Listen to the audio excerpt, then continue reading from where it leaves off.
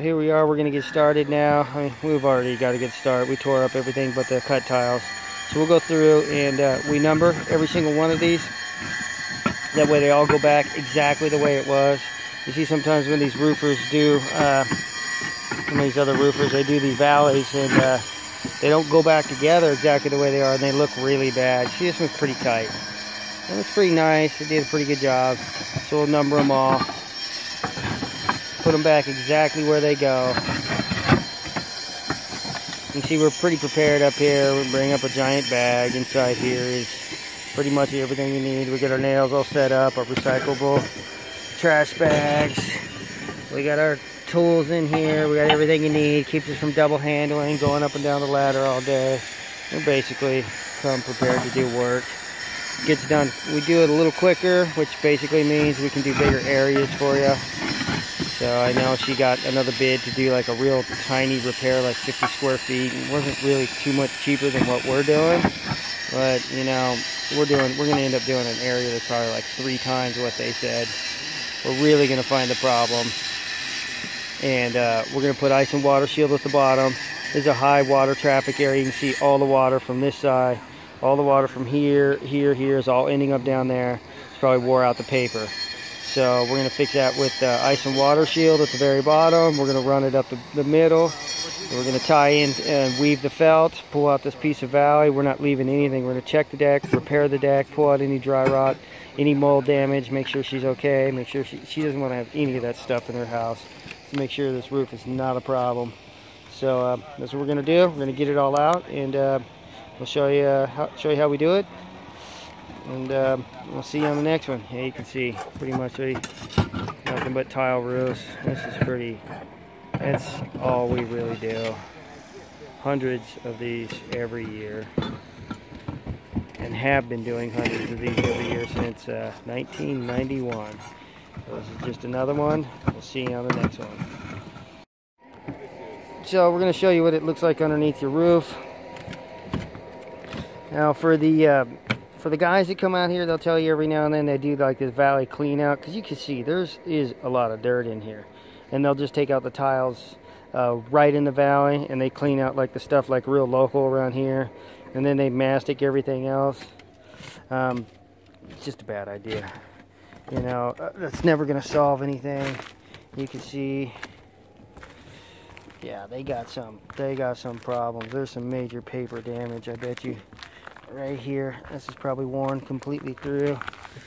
So their little clean out is not going to solve. Oh yeah, look at that paper is just coming up. Bam. Right under the roof right there. So, yeah, you don't want to have people screwing around with your valleys. These are high water traffic areas. They need to be done right. So we're going to sweep all this stuff up. We're going to bag it all up. We don't blow all the stuff all over the property like most people. We'll sweep everything up. We'll bag everything up. We have little recyclable bags that we use so we don't throw away a bunch of landfill trash bags. Then we'll uh, remove the valley metal. We'll cut everything out. We'll check the entire deck all the way around here. Fix any any problems with the deck. Remove any mold. Remove any dry rot. Re-nail it. Then do the ice and water shield put the valley metal, paper back, everything, put everything back to the way it was. This valley will never leak again. This area on her roof will be the last area on her whole entire roof to ever leak again. That's a promise. See you on the next one. So we're getting this area torn off. You can see he's removing it. And we're going to show you the, one of the number one reasons other than the fact that you actually find the leak well, you want to have all this stuff removed. I know a lot of roofers, they'll save money and they do those, uh, what they call like an overlay. So they tear up an area and they just put felt straight over it. It's a total band-aid and a complete waste of money and it will not last. But it's what we have here. Yeah, lift that up. Let's see what we got. Look what is hiding, lurking underneath your roof. Wow, that is nasty. Look at that. That is really, really bad.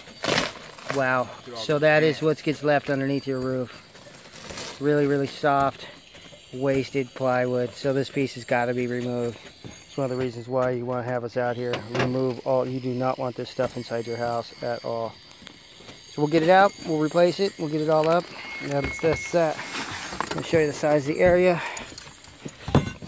Now you know the thing was done right. You know you're not left with mold damaged wood in your house. You know you're not going to have problems with allergies or people who are mold sensitive and allergy sensitive, which is a lot of people. Millions of people don't do well with that kind of mold damage any, just above their bedroom. You do want, want, want that stuff. And as right now we can even see ants and bugs are getting around there. That's a, that's a prime example for termites. So we're gonna go grab a piece of sheet of plywood and uh, get this taken care of. That's it, Denise will not have this to worry about again. And uh, we'll see you on the next one. Okay, so I just got back with the plywood, brought the guys some waters, Gatorades. I'm just gonna show you kind of how big of a job this is to fix these properly. Had a pretty good leak down here at the bottom. Got to get out this whole piece of valley. It was overlapped way a lot by this other piece of valley.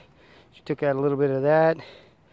You want to go around this pipe, this pipe right here properly.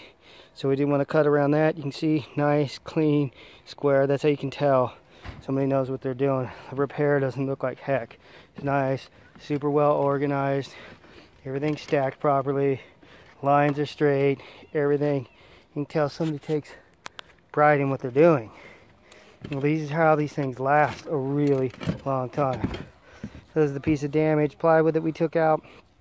See the insulation looks really good. They're fine. We will clean out their gutter. That's our mess and we will make sure that's not there when we leave. I can see they look at they even had another problem all the way over here. It's going all the way over there. It's coming down here, run along there, blew out over this way. Real bad piece of plywood. So yeah, you can see this is not a small repair. This is not something you're gonna get when these guys tell you are gonna do an overlay. It don't look like this.